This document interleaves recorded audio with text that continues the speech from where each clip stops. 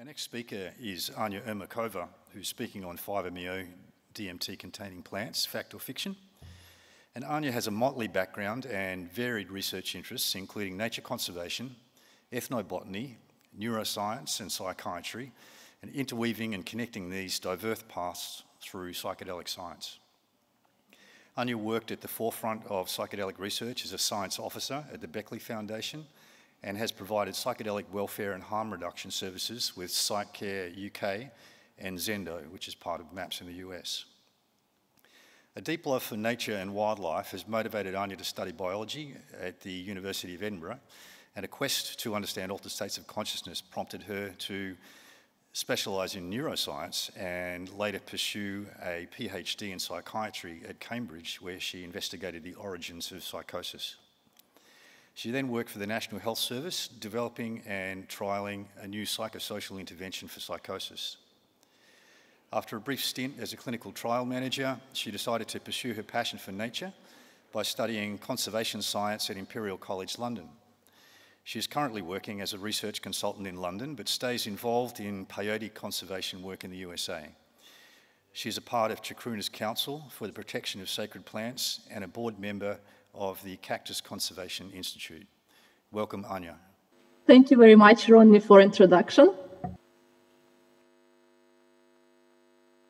So as Ronnie mentioned, uh, some disclosures. Um, so I am affiliated with Chacruna Institute and Cactus Conservation Institute, and I'm also a researcher at King College London, and uh, uh, I work with the Beckley Psytech, which is developing 5-MeO DMT assisted psychotherapy for uh, treatment-resistant depression. And it's uh, through my work with Beckley that I became very much interested in 5-MeO DMT and uh, started to do more and more research on this compound and uh, look into all sorts of other things. Uh, my main work is a clinical neuroscience, uh, psychiatry, and psychologist. So uh, please bear with me if I uh, mess up something to do with botany or chemistry. And of course, if you have any questions, I would be happy to answer. But yeah, as I said, um, I'm, uh, I know a lot more about neuroscience. Uh, but I love botany, I love conservation biology as well. So, what is 5-MeO DMT and where is it found? Uh, 5-MeO DMT is a short-acting psychedelic tryptamine. It's uh, found in many plants and some animals. Uh, it has a unique subjective effect profile. It's very short-acting, um, usually taken in the smoked or form uh, or insufflated, and uh, it's incredibly intense. So, uh, what most people describe as 5-MeO DMT is uh, uh, whiteout, ego dissolution, void, and uh, yeah, it's incredibly intense experience. Uh, currently, 5-MeO DMT is in clinical development for depression, for alcohol use disorder, and there are trials uh, ongoing in the UK where where I work also in the Netherlands, and uh, soon would probably be all, all over the world. And I know there is a trial in Australia coming soon. Uh, 5-MeO DMT was synthesized in 1936, and it was uh, uh, first isolated from a plant, uh, Dictyoloma incanescens, in 1959.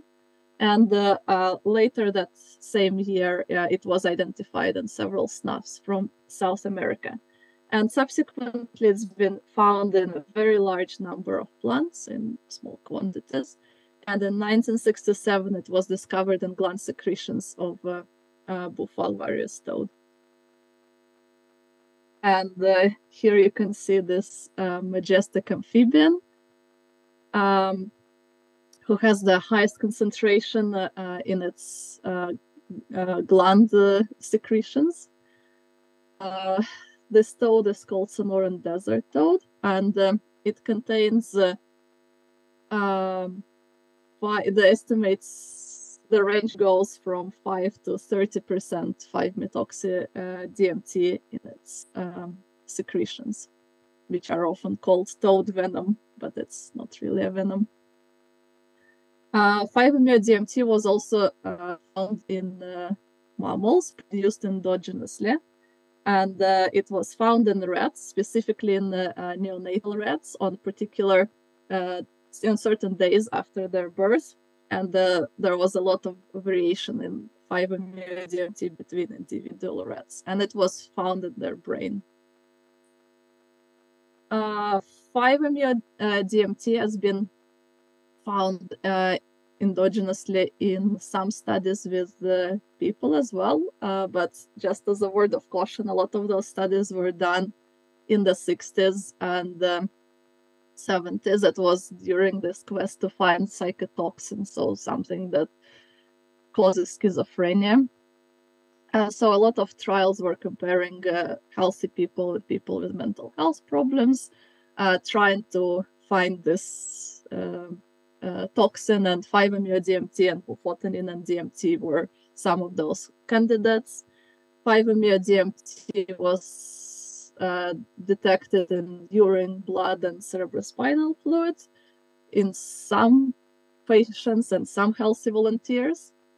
Uh, but it is was not consistent. There was a lot of variability, and also the methods in those trial in those studies left much to be desired and uh, so we don't know if there is uh, 5-MeO and what role it has. 5-MeO DMT has been uh, found in uh, fungi. Um, uh, its presence was confirmed in at least two species, Amanita citrina and Amanita porphyria. Uh, both of these belong to the genus Amanita, and both of these mushrooms are fairly common uh, Amanita citrina is known as a false death cap, and I strongly recommend you don't seek this mushroom out because it's uh, can be confused with a very little uh, death cap. And now I'm going to the main main topic uh, uh, of my talk: 5-MeO uh, in plants. the three genera that are most commonly associated with 5-MeO DMT are uh, probably Virola, Anadenanthera, and Phalaris, and those would be mostly. Uh, but there are a lot, a lot more uh, less known plants that I'm going to zoom through during this talk. The seeds and occasionally um, bark uh, of uh, Anadenanthera form the basis of entheogenic snuffs that were formerly consumed over a large portion of South America. And you can see in Anadenanthera there are two, two species and four subspecies. And I apologize for this busy slide. That's more for reference. It's not something for you to worry about. It just shows an overview of various uh, tryptamines that were found uh, in these uh, species uh, with the references. And you can see that uh, 5-MeO DMT. Uh, well, there is a lot of variability, of course, depending on the uh, part of the plant, whether it's in seed, in the bark, or in snuff samples. And uh, uh, yeah, there's a lot of variability. I'll go into more detail for each species later.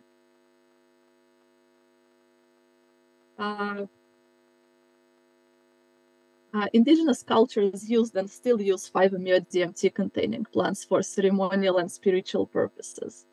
And there are some amazing um, uh, uh, archaeological uh, monuments uh, and depictions showing Anadenanthera. For example, these uh, stela sculptures from Chavin depicting supernatural figure adorned with the vilca leaves and pods and uh, a lot of it is described in a great book by uh, Constantino Torres and David Repke, which I highly recommend if you are interested in archaeology in particular. Uh, archaeological evidence shows uh, Anadenanthera um, have been used as uh, uh, hallucinogens for thousands of years. And the, the oldest clear evidence of use comes from pipes made of puma bone found with the Anadenanthera colubrina beans uh, in uh, uh, in Argentina. and the pipes were found to contain DMT and 5-MeO-DMT.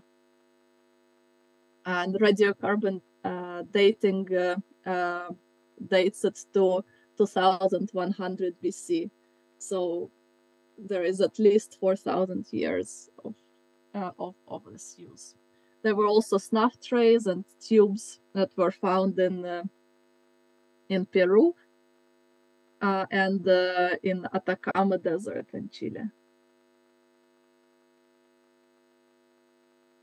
And uh, uh, later Andean cultures, for example, Vari, uh, added Anadenanthera seeds to beer, producing mildly psychedelic beers. I mildly compared to snuff, but they still had effects.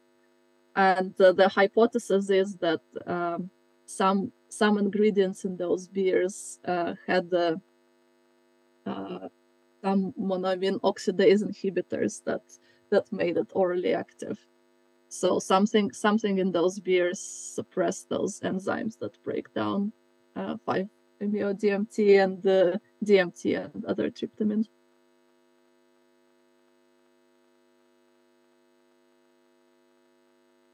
So the, the first uh, species um, I want to introduce is Anadenanthera colubrina that has two subspecies. And uh, it's the tree itself and the snuffs that are made from it are called Curupau, Vilca, Cebil, depending depending on the on the locality. Um, they have uh, uh, medicinal. Uh, th- these trees have medicinal use, and they're also harvested for wood and for tannins. As uh, plant material can be smoked and also used in enemas. And the main active constituent of Vilca's snuffs and preparations is bufotenin, up to 12%. And there is actually either no 5-MeO-DMT or very little uh, trace amounts of it.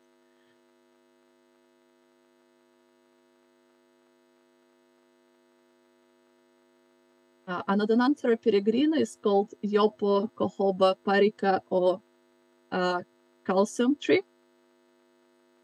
It has also two varieties. Uh, variety falcata is native to uh, Cerrado vegetation uh, biome uh, in Brazil and Paraguay and the wood uh, uh, is very valued for its timber and used in making furniture. Uh, Anadenanthera peregrina variety peregrina is native to Guyana, Venezuela, Brazil, Colombia, and is also found in the Caribbean. And this is mostly used for entheogenic snuffs. Uh, uh, Europeans first encountered uh, snuff preparations from this plant in the island of uh, Hispaniola uh, in 1496. And sometimes uh, snuffs snuffs are called cohobo, yopo, uh, kuruba, akuya, parica, and are usually prepared by the tribes around Orinoco Basin. Uh, the seeds of the yopo tree were originally gathered from the wild, uh, but over the years they've been cultivated and transported elsewhere, expanding plant's distribution through introduction to areas beyond its original range. There is also some uh, evidence of the use of uh, these snuffs with the uh, caapi, which is a component of ayahuasca, but not as a drink. Uh, there are some some indigenous people, for example, Piaro of Venezuela, chew and eat the bark of Banisteriopsis caapi before and then take the snuffs to potentiate its effects.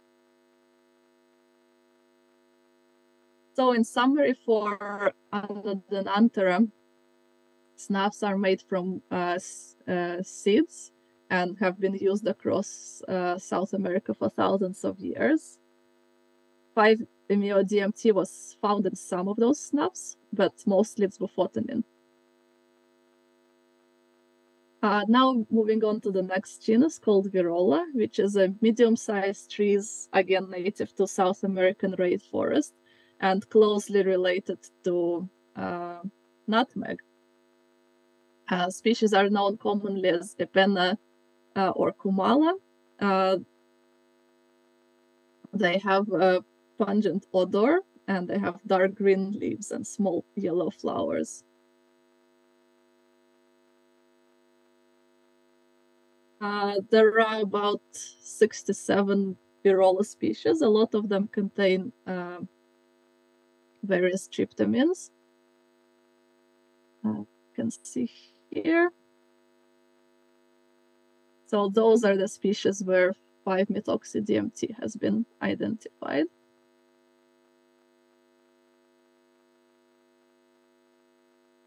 And many of those uh, species are used by indigenous people in the Amazon region and generally across Americas as well, in Central Americas too. And uh, they use the for entheogenic reasons, they prepared as snuffs, as smoking mixtures, as even oral pellets, although there is a questionable whether they were oral or sublingual pellets, most likely sublingual. and uh, depending on the uh, on the indigenous people, there are different ways the snuffs were used. For example, uh, sometimes uh, they're used only by the medicine men um, for divination or to find out for for uh, medicine. Sometimes they're used by all men over a certain age. Sometimes they're even given to the dogs to enhance their hunting abilities. So really there's a lot of variety there.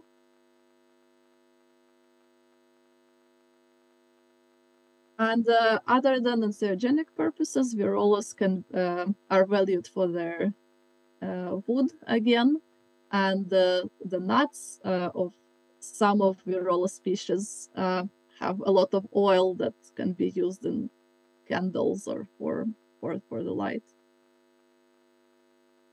and there is even one virola species that's that grows in Mexico that's used as a flavoring for chocolate. There's an interesting indigenous uh, group, um, Yanomami. They use both virola and uh, Anadenanthera snuffs. Um, and they also use virola uh, resin as an arrow and dart poison to, when hunting to immobilize animals and uh, dart poison made from the uh, sap of uh, virola uh, yields up to 8% 5-MeO-DMT in, in one analysis. So, and there is also an excellent book, uh, the, the Falling Sky, that, that I have here that I recommend you to read if you want to learn about this interesting uh, culture and their struggles nowadays. Uh, this is one of the example of Virola species. And uh, as I was, uh, this is the red sap uh, that has probably the highest amount of 5-MeO-DMT of all uh, three parts. This is the fruit that's very nutritious, very oily, and uh, a lot of birds and animals like to eat it and disperse it across across the forest. Uh, so in summary, virolas are much more promising as a source of 5-MeO-DMT, particularly the bark resin. There are a couple of species that so far in, in the tests show higher concentration of 5-MeO-DMT.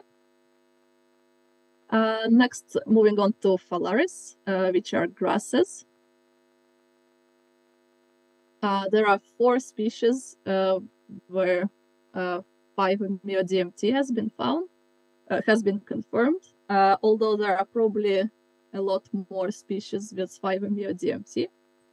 They just haven't been tested yet.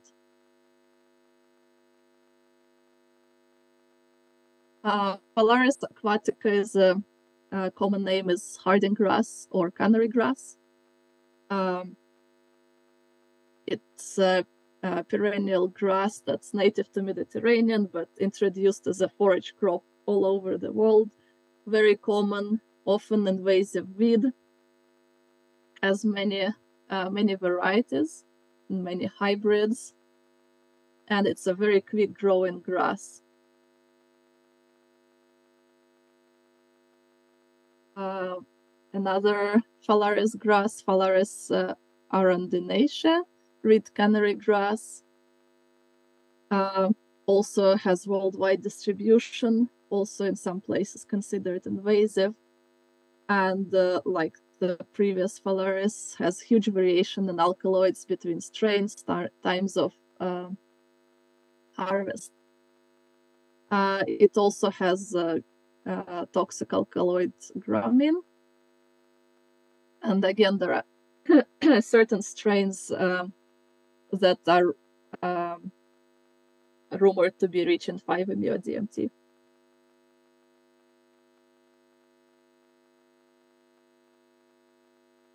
Phalaris is uh, uh, known mostly for its association with a disease in cattle called Staggers.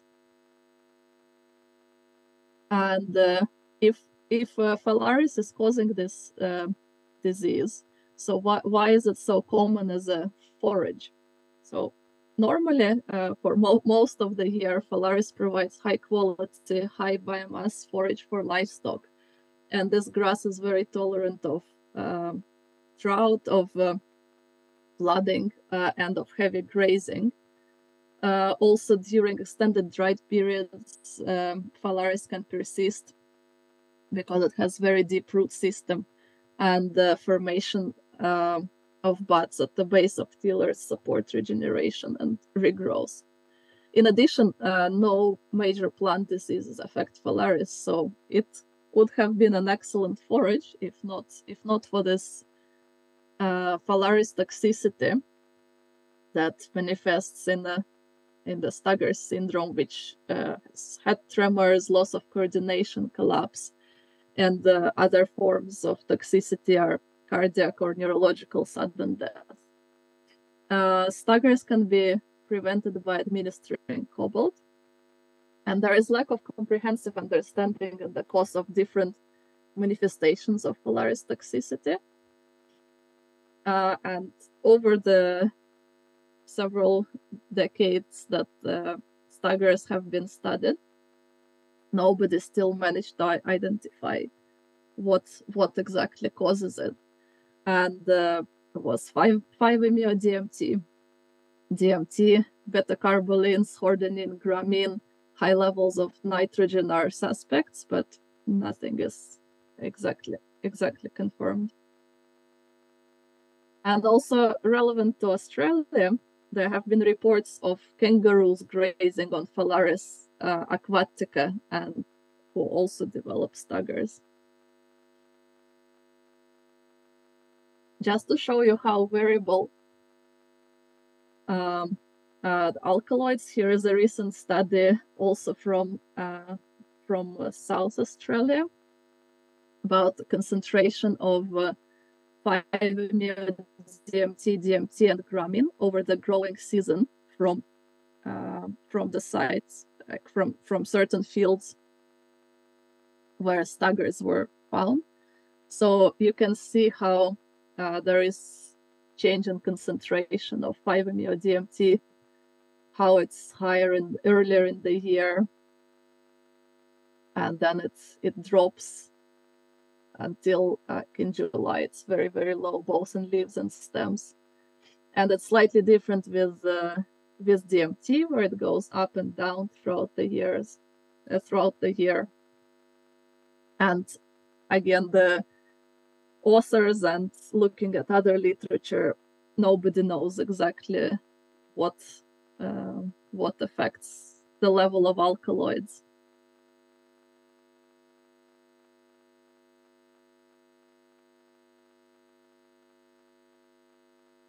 Yeah, just just to summarize it, again, this there is high variability in alkaloid concentration, even within the same strains, and there is a huge variation between different strains and different species.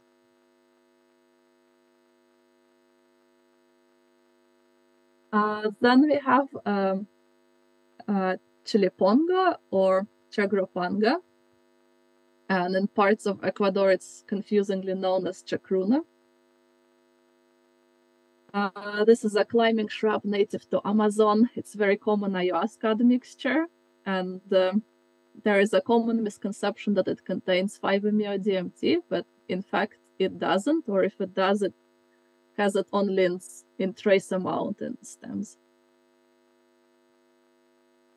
And there are many, many, many other plants uh, that uh, have uh, tentatively um, that have 5-methoxy DMT uh, tentatively identifying them and it's usually based uh, on not peer-reviewed uh, data, but on independent researchers taking initiative and using thin layer chromatography and color reaction tests.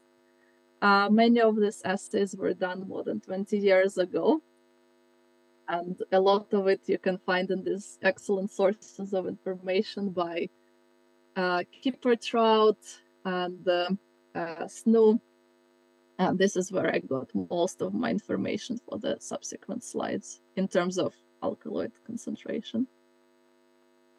Um, in the acacia, uh, the next uh, genus is acacias, and I'm using this word in the uh, wider sense because it's actually five different uh, genera that contain what used to be called acacia. Uh, now, acacia, acacia in strict sense mostly includes Australian uh, wattles. Uh, most acacia species contain uh, tryptamine or phenethylamine alkaloids, or many, not most. In particular, many contain DMT.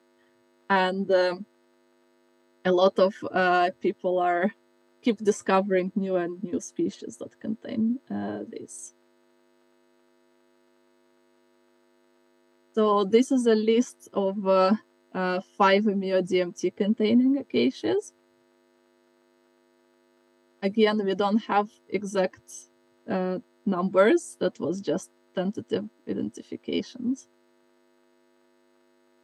Uh, this is an excellent resource that was uh, done by Entheogenesis Australis team about um, uh, harm reduction in terms of harvesting uh, wild harvesting acacias um, for DMT, and I think similar things would apply for 5-MeO DMT if it's discovered that it's feasible to extract it. Just yeah, make sure you don't do any any harm.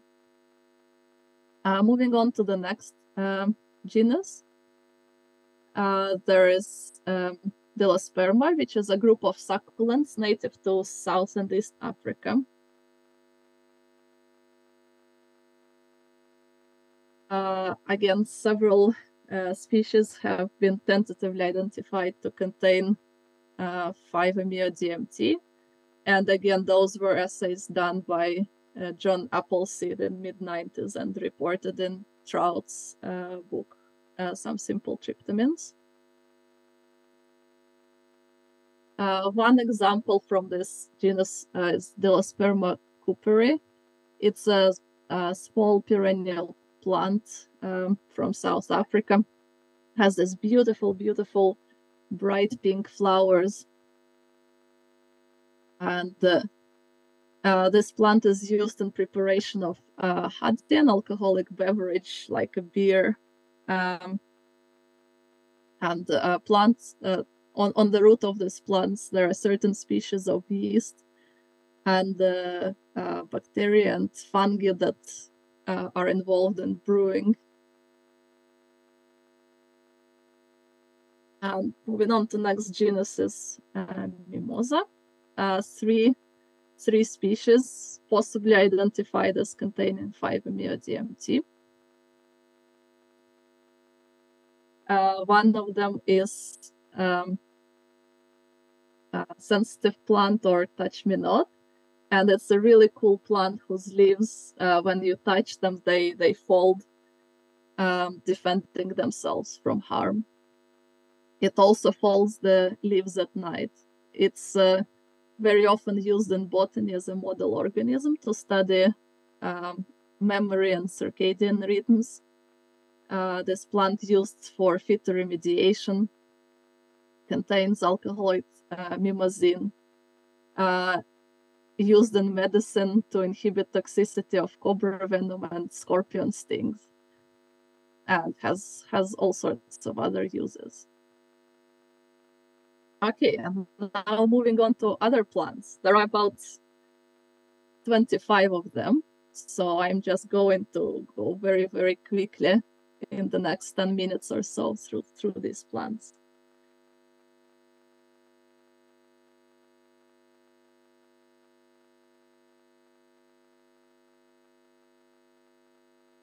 Uh, the, the first uh, and the in alphabetical order, so I just leave them. One is giant cane or giant reed. Um, its features in Greek mythology has been known for for a very long time.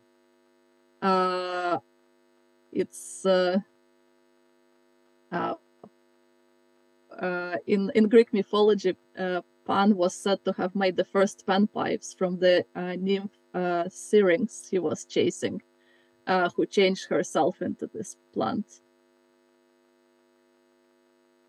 leaves and roots of this plant are edible. It's used as a biomass crop. Uh, it's used for wastewater treatment. Canes are used for all sorts of things. Um, in ancient Egypt, um, uh, the dead were wrapped in the leaves, and uh, also reeds are very common material for all sorts of uh, wind instruments. Uh, interestingly, Wixárika people uh, of Mexico make arrows and staffs before peyote pilgrimage from that particular plant too. And it's considered invasive in Oceania and North America. Another plant containing 5-MeO-DMT is uh, rescue grass, native to Venezuela and South America, introduced worldwide now uh, it's uh, not really much re remarkable about it. It's very, very common plant. Uh, then we have uh, uh, with uh, two plants uh, called Bird of uh, Paradise. It's a large evergreen shrub native to South America, prized as ornamental plant. And it's um, has many medicinal uses. Uh, but it has um, uh, the seeds of it are very toxic, and they're so toxic that that one and uh, and Caesalpinia pulcherrima were used um, to cause abortions and also for suicides. But they're very beautiful and they're grown for ornamental purposes. Um, another plant containing uh, 5-MeO-DMT is uh, Comptonella, oh, another genus, and has two plants that uh, were discovered to have 5-MeO-DMT. Uh, both of them are native to New Caledonia, and they're shrubs and trees. And there was at least one anecdotal report uh, of uh, uh, decoction of these leaves uh, to have uh, psychedelic effects. Uh, where the leaves were just boiled with with lemon juice for for fi- five hours, and the, the liquid was ingested, and it produces it produced psych- psychedelic effects. Then we have uh, Desmodium species uh, called tick trefoil or tick clover or beggar lice.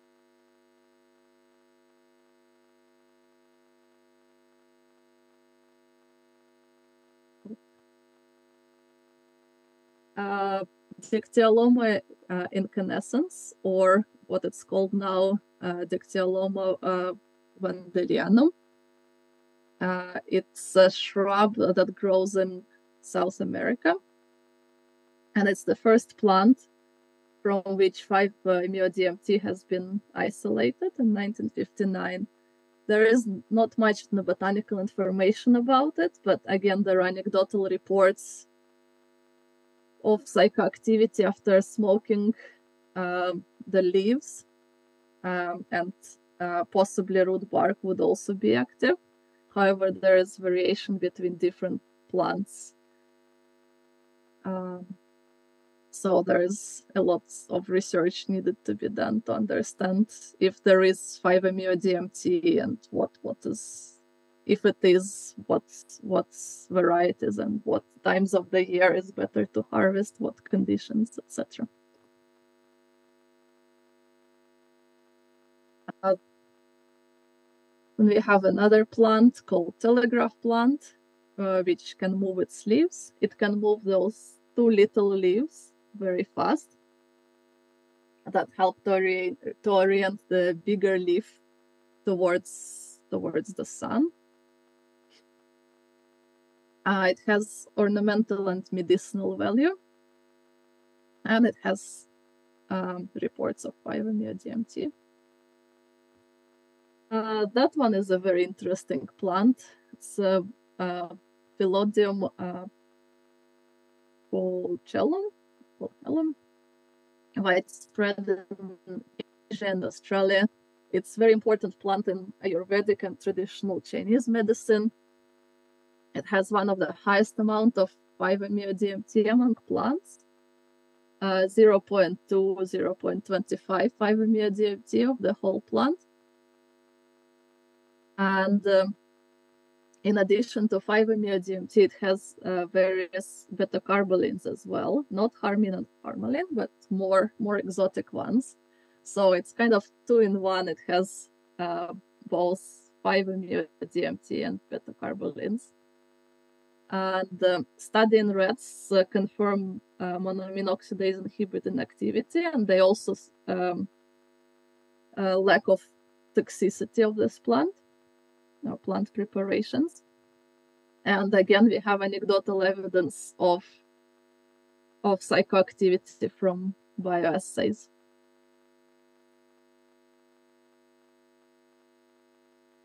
Uh, another grass, um, very very common worldwide, uh, used to be cultivated in Eastern Europe. Uh, it's called Polish millet the, the, the dish is called Polish millet.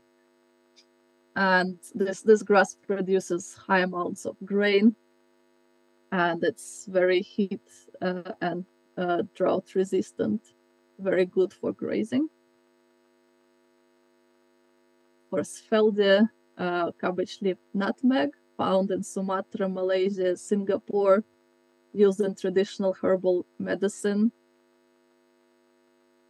uh, we have uh, Hugonia, another plant from New Caledonia. And again, all these plants that I go very fast, they just have traces of 5-MeO-DMT, and we don't have even the figures of how much there are. Uh, this is an interesting plant. Um, used as medicine and for food, and also several indigenous group, uh, groups in Peruvian Amazon use the bark of this tree to make uh, pellets for oral consumption in a similar way that pellets were made from virola plants.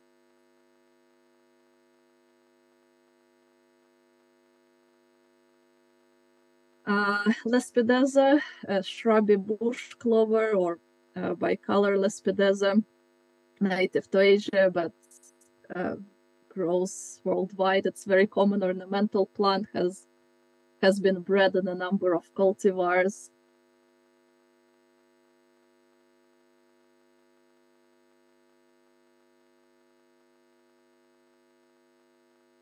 Uh, we have a, a, velvet bean, which is notorious for its nettle-like itchiness um, uh, when touching seed pods. Uh, seeds have been used as an aphrodisiac in a variety of places, like in, in uh, Indian medicine, uh, in Mexico, and, and other places. And seeds are fame, uh, have a very high uh, amount of uh, levodopa, which is a drug used to treat par- useful in Parkinson disease Uh, there are also reports of psychedelic effects from smoking leaves, particularly when combined with monoamine oxidase inhibitors. And unlike seeds, leaves don't have L-DOPA.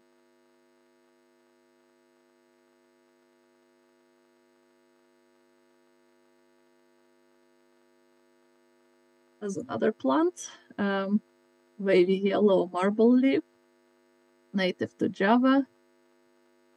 Uh, then we have uh, Pilocarpus, uh, Pilocarpus uh, pauciflorus, um, has a fairly high percent of 5-MeO-DMT and supposedly doesn't contain pilocarpine, which is a toxic um, uh, agon- uh, um, a toxic chemical that's uh, is also medicine for glaucoma. Uh, it's a uh, pilocarpine is a muscarinic uh, acetylcholine receptor agonist, and uh, it's uh, uh, taken a lot of it can result in heart failure and cardiovascular problems.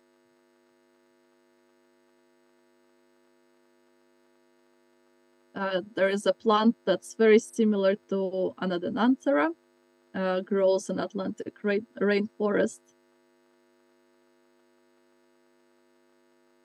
Then we have another grass. And uh, this tree from uh, west coast of United States, California bay laurel or Oregon myrtle, uh, that had a lot of medicinal uh, uses and also found to have um, 5-MeO-DMT in, in stem bark. So I I managed to do it in 45 minutes to just through all those plants.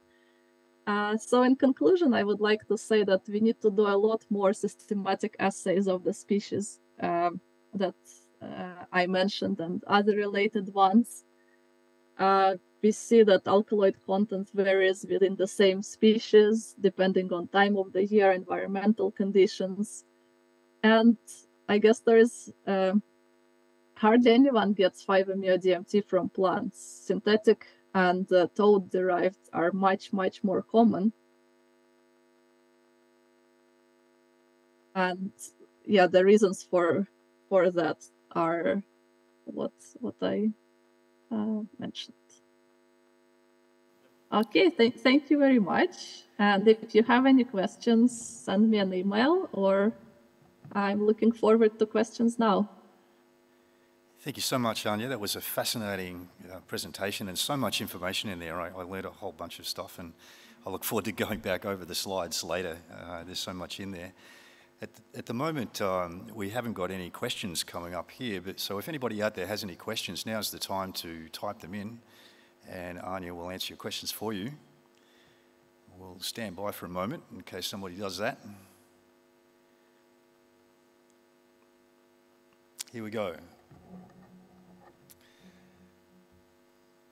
Okay, we've got our first question, Anya, and the question is Do people actually extract 5-MeO DMT from these plants, or is the extraction uh, too difficult or require a lot of expertise? Uh, the answer is yes, they do, uh, but it's not very common. So uh, if you uh, go to forums like DMT Nexus and 5-MeO forums and Reddits, you can uh, see people describing the results of their experiments with extraction. And uh, there was talk, I believe, by Julian uh, uh, Palmer at a conference a couple of years ago where he described that it was actually very easy to extract 5-MeO-DMT from um, uh, one of the plants. Let me show you which one.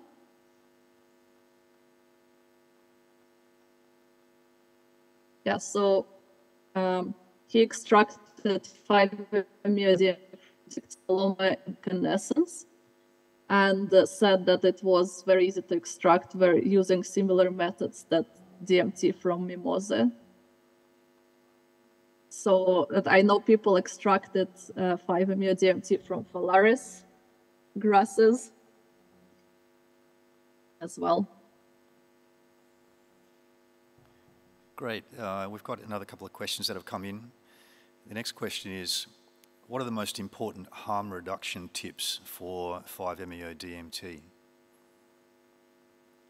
Uh, harm reduction tips, tips in terms of uh, the consumption of it or in terms of plants and the toads?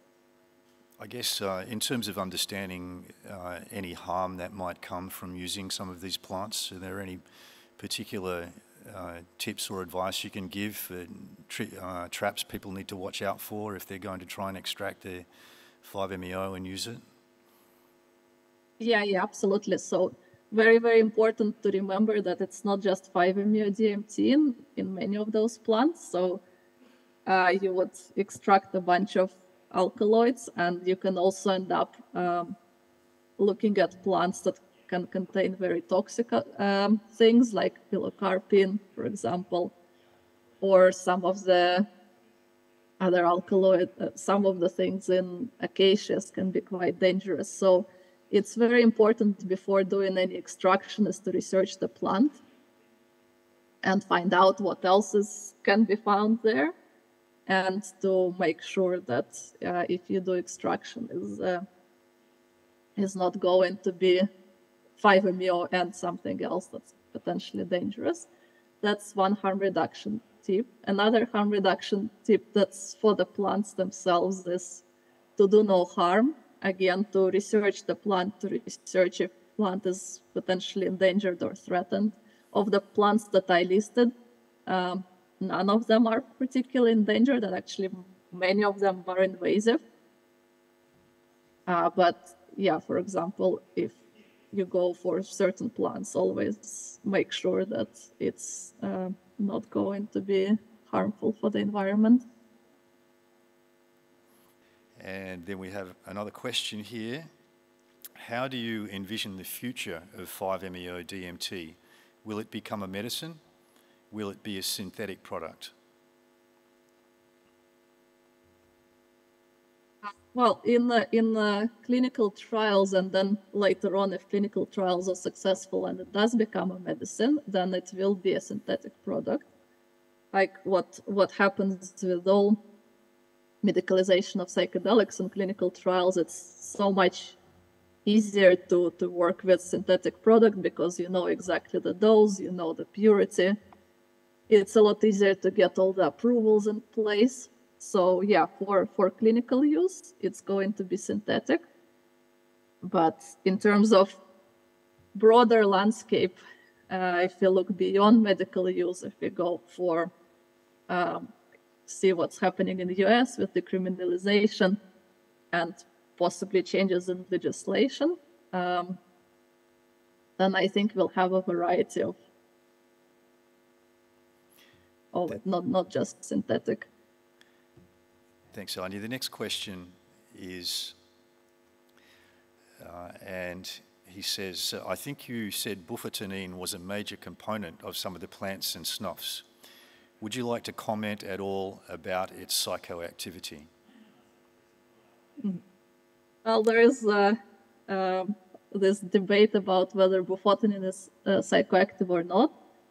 I know Sasha Shulgin uh, uh, writes that it it's not psychoactive. Jonathan Ott writes that it is psychoactive. Um, and uh, again, if you look at uh, earlier research trials that were done, I think in the late 50s, 60s, some of them show that it's not psychoactive, but has some some physiological effects. Uh, if you look at forums, some people report that it is psychoactive. So, uh, yeah, I guess um, there is no uh, easy answer. But again, in Anadenanthera, the, the main the, the main component in those snuffs is bufotenin. So I, I think it, it would be psychoactive. Thanks, Anya. And that but seems maybe there's particular method of administration that, that needs to happen for it to be effective. Thank you. That uh, seems to be all of our questions, and we're almost out of time. It looks like you've explained it all. So thank you so much, Anya. It's been wonderful to have you here at EGA 2022, and uh, lots of interesting information for us to, to sift through later on. So uh, thank you very much. Oh, thank you, Ron. It's always such a pleasure. It's my second year at the uh, Garden States, and uh, yeah, always amazing to to learn and share knowledge. Thank you.